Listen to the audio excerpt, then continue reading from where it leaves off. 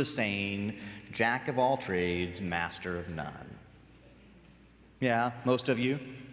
You know, the interesting thing is when you ask people, is that a compliment or a dig? It kind of depends on their opinion, right?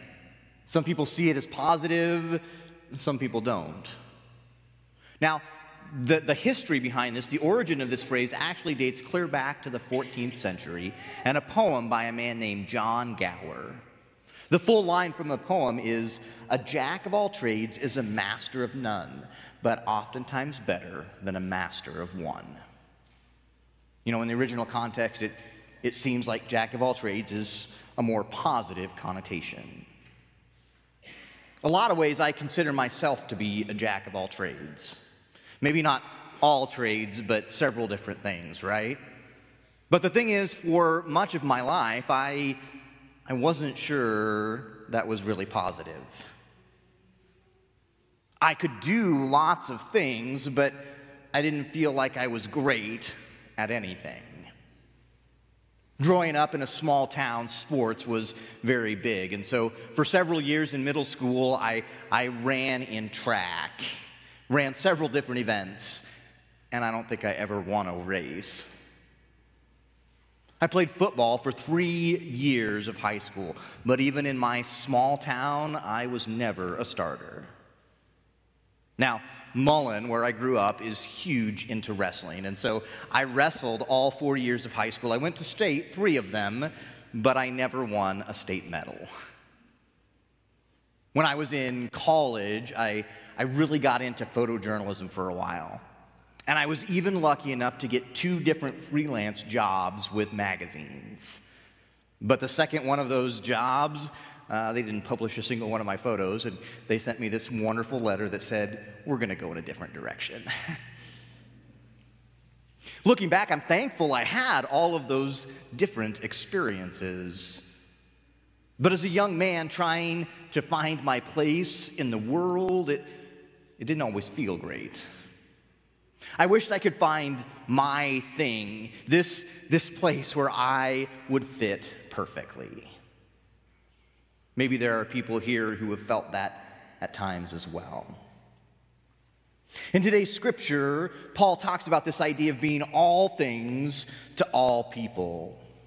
And like the jack of all trades saying, it, it kind of depends on your perspective whether that's a good thing or not. See, this month we're continuing our sermon series called Don't Fit In. And the idea, the concept behind it is all that as Christians, we should look and act and be different than the world around us. But today's scripture reading, it, it almost feels out of place, right? Paul seems to, to advocate for almost the opposite in today's text. He, he seems to change who he is to fit in with different groups. And so we're left wondering is Paul suggesting that we change who we are, how we act, or, or even what we believe so that we can reach people? I mean, Paul's words and approach here seem to be the complete opposite of what we read in Romans 12 2. Do not be conformed to this age, but be transformed by the renewing of the mind. I mean, is Paul saying it's okay to conform as, as long as our intent is to share the gospel? I know there are some people who, who kind of read it that way, but I, I don't think that's the message he's giving us. And I think it's important that we understand his words in the overall context he was writing them. See, part of the reason that we paired this sermon series with a, a, Bible reading challenge is so you have a chance to read the entire letter to the Corinthians. If we just read one piece of it, if we just pull out this piece, it, it doesn't have the same meaning. The context matters. See, Paul writes this letter to the church in Corinth because they've been fighting with one another, because they're divided on different issues. In chapter 1, verse 12, he writes, uh, Each of you says, I belong to Paul, or to Apollos, I belong to Cephas, or I belong to Christ. See, the different groups they, they've started to identify with their teacher, instead of the gospel. Then in chapter 8, he addresses something again. Here, the, the people have been divided about whether they can eat meat that's been sacrificed to idols. Some in Corinth say yes, some say no. And so they send a message to Paul and say, You've got to settle this for us. Now, today we probably can't really wrap our heads around and understand this debate on food, but we do get the concept, right? We can see division sometimes even in the body of Christ. That's why we have so many denominations in our world. And yet, one of the interesting changes that is happening in our culture is this shift away from denominational loyalty. Now, 50 years ago, if you moved from one community to another, chances are you joined whatever denomination you were a part of before. If you were a Lutheran or a Baptist or a Methodist, that's the church you joined when you got to the new community.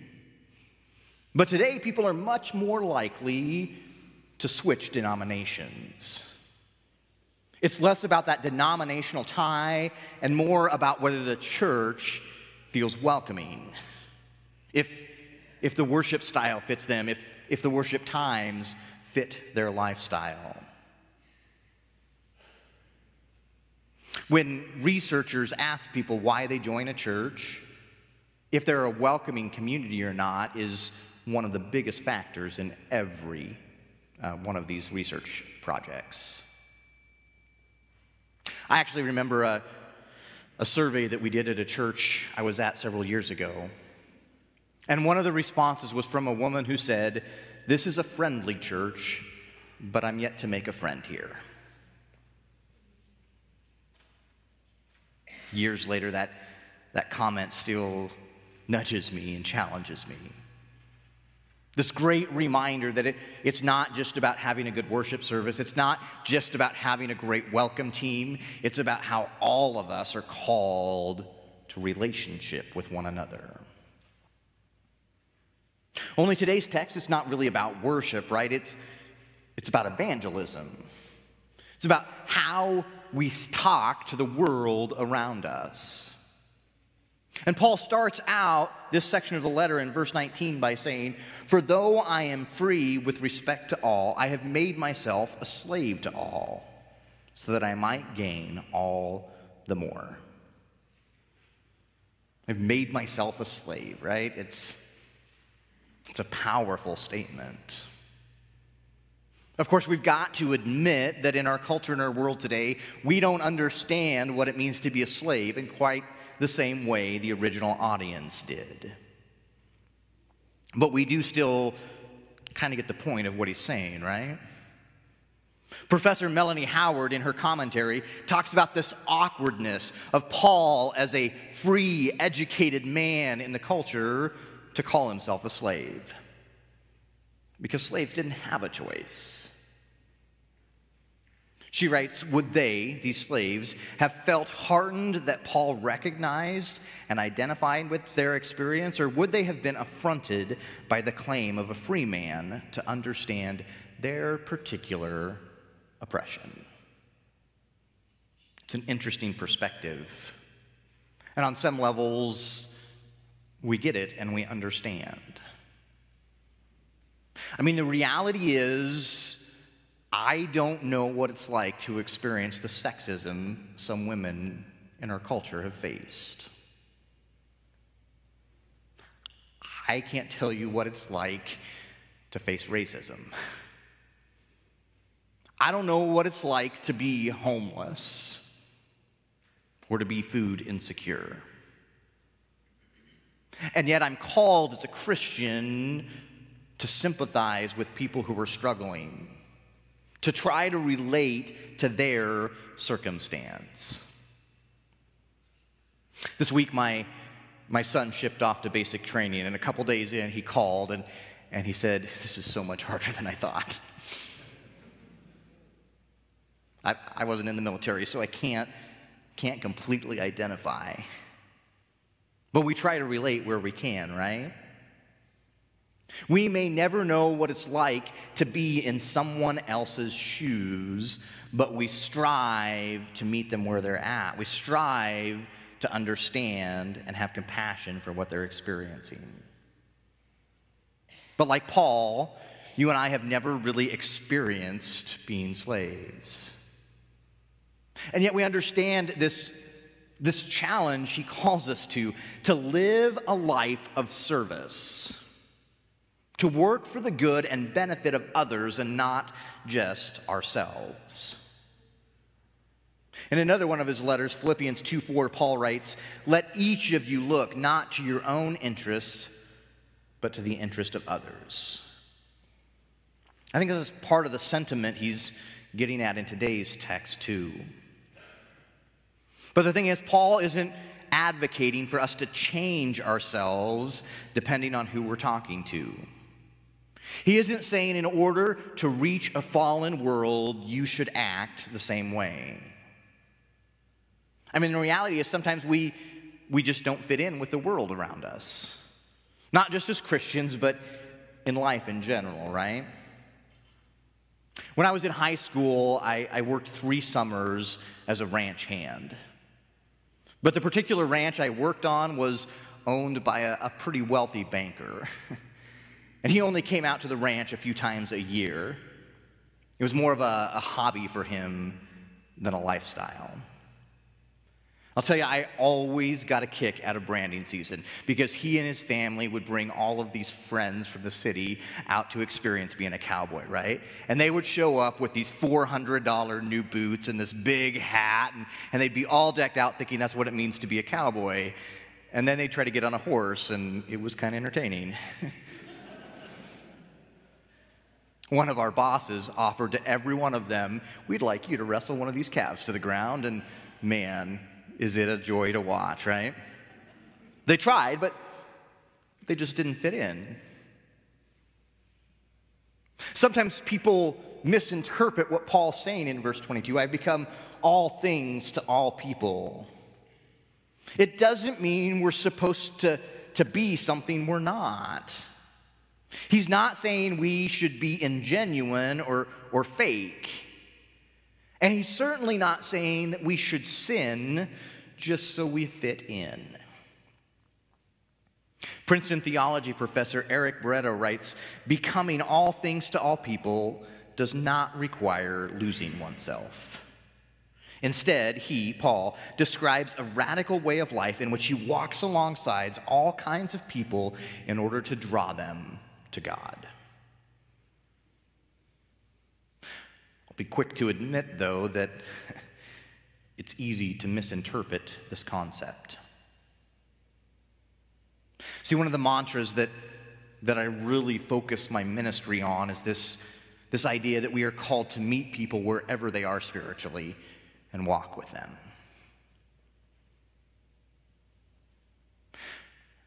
I worry that the church universal, it, it often misses the boat, so to speak, when it comes to evangelism.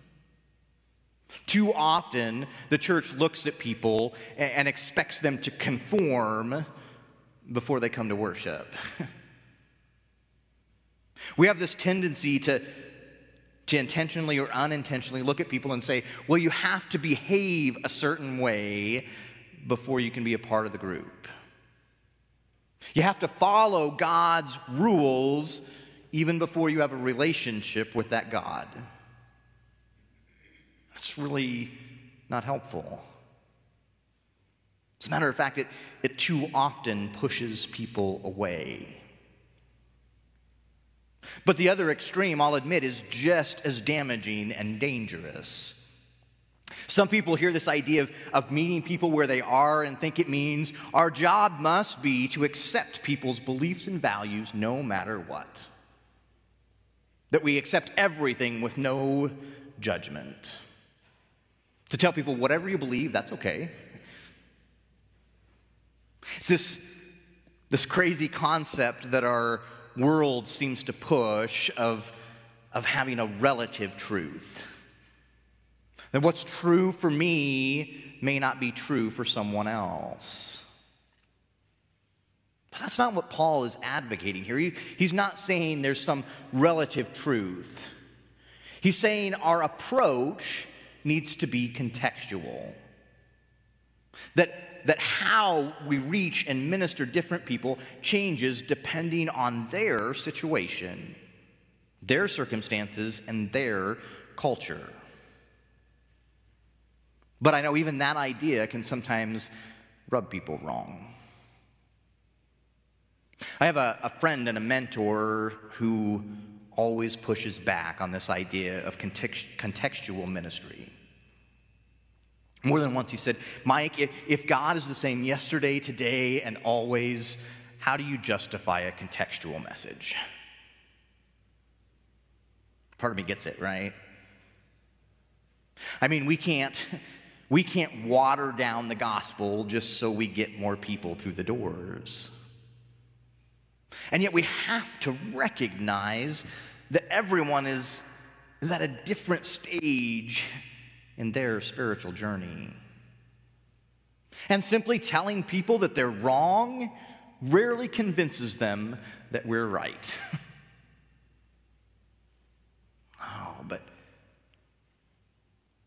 loving people through those differences, walking with people in their brokenness, being with people even when we disagree. That's what Paul calls us to do. Who we are called to be in Christ. See, for me, the key to, to all of this rests in verse 22. To the weak I became weak so that I might gain the weak. I have become all things to all people that I might by all means save some. It's a crazy concept in our world today. And it's one of those places that, that we start to not fit in with the culture around us. See, our world glorifies strength, not weakness.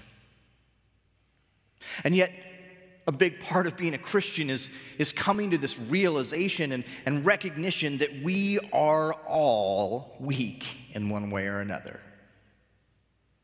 We are broken and fallen and sinful. And it's, it's through our brokenness that people begin to see Christ's holiness. But it goes against what the culture tells us, right? Society says you're supposed to be strong, or at least look strong. If you want people to listen to you, if you want people to follow you, you have to be strong and great. But Christ says, show people your weakness, and then they'll be able to see my strength. I think that's why this verse is so meaningful to me, and why it's been so powerful in shaping the way I do ministry. Pastor and Professor Michael Knowles shares this in one of his books. He says, The one resource that genuinely faithful preachers of the gospel have in abundance is a parade of daily reminders as to their own inadequacy, unworthiness, and dare we admit it, lack of faithfulness. Oh, I get that. How every day I, I see those places that I don't feel like I'm good enough. And I realize I can't do it on my own. And it's through admitting our own weakness that God opens doors to reach others. It's when we recognize and admit that we are broken that we reach broken people, even if they're broken in a different way than us. So here's the thing for, for many of us, we are here today because someone did just that for us. Because someone loved us through our mistakes. Because someone stayed with us even when they knew we were wrong. Because there were people who walked with us even in our brokenness. came, I came across a commentary this week by a man named Bill Grover. And I'll be honest with you, I don't know if he's a pastor, if he's a professor somewhere, or if he's just a contributor that, that happened to write something for this site. I went to the almighty Google and I tried to research who he was, right? But it turns out there are a whole bunch of Bill Grovers out there in the world, so I don't know which one this is. But I loved his perspective. And I wanted to share a little piece of what he wrote. He said, A multitude of means exist by which we can reach people. Some friends witnessed to me directly. My wife's mother didn't think she could, so she offered me Sunday lunch if I would go to church with her. It was her prayers and her unique approach to lunchtime evangelism that helped me become a Christian. I mean, how cool is that? How amazing that by sharing a meal, she could share the gospel. The question is, what does that mean for you and me, right? See, the reality is, I, I don't know how God is calling you to share the gospel, but I know God is calling you. I don't know who the people are that you might reach or, or what places you could evangelize. I don't know what approach fits for you, but I do know without a doubt that if we just sit in our pews and hope people come to us, we've missed the gospel. We've missed the mission of the church. I don't know what it will mean for you. I, I don't know if maybe you're supposed to invite a friend to church. Maybe it's a neighbor that, that needs that invitation. Or maybe it's a coworker that you think would never go to worship with you, but maybe they go to a Bible study in the break room at lunch. Maybe it's someone you know who loves to read and, and you've got a great book that could speak to their soul. Maybe it's just someone who would say yes to a cup of coffee and a chance to talk about this Jesus. I don't know, maybe maybe God's asking you to share the gospel on the golf course or in the stands at a baseball game. Maybe it's someone or someplace you never expected.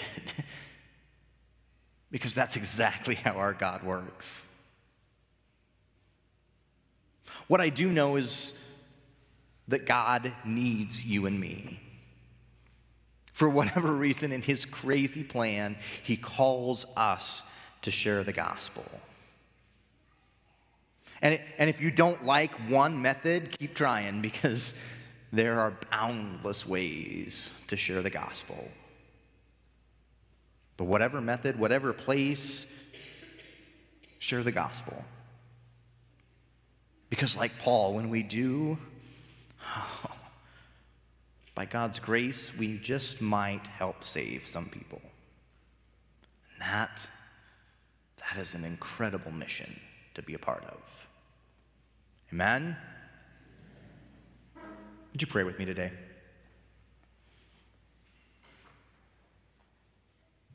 Loving and gracious God, we, we are so humbled and so thankful that you have called us. That in our brokenness, you still see a way to use us for your great mission.